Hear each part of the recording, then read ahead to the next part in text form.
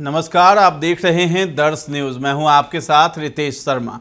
बिहार के भागलपुर में बनी पुलिस लाइन में 12 अगस्त की रात को चार हत्याएँ और एक सुसाइड करके परिवार का खौफनाक खात्मा क्यों हुआ?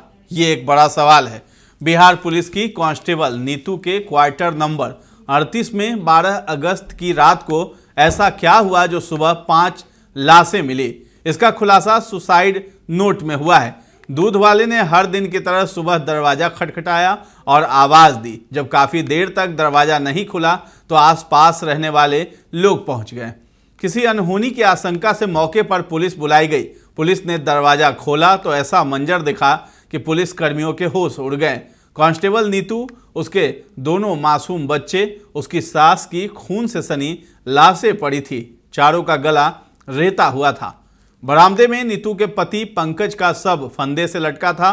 पंकज सुसाइड नोट छोड़कर गया। सुसाइड नोट में उसने पत्नी नीतू के अवैध संबंध का ज़िक्र किया। फिर भी पुलिस अनसुलझी गुत्थी को सुलझाने में जुटी है। सुसाइड नोट के मुताबिक दोनों में लगातार विवाद होता था। विवाद का कारण पति पत्नी और वो है।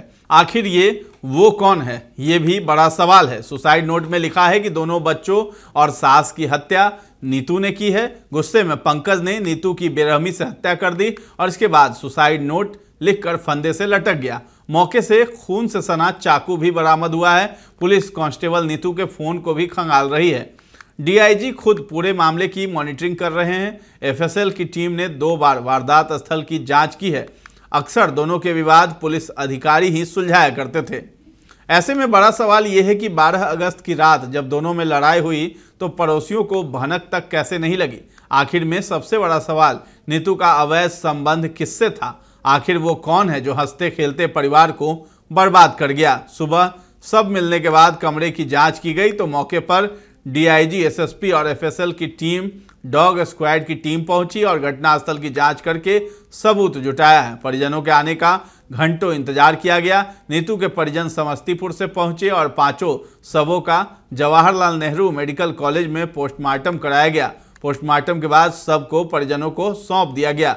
सूत्रों से मिल रही जानकारी के अनुसार पुलिस ने एक सिपाही को हिरासत में ले लिया है। उससे गोपनीय स्थान पर पूछताछ की जा रही है, जिसका नाम सूरज ठाकुर है। वो क्राइम ब्रांच में कार्यरत है, जिसे कांस्टेबल नीतू का नज़दीकी संबंधी बताया जा रहा है। तो फ़िलहाल इस खबर में इतना ही है। दर्श न्यूज़ के साथ बने रहें और अभी तक हमारे चैनल को आपने सब्सक्राइब नहीं किया है तो ज़रूर कर लें। धन्यवाद।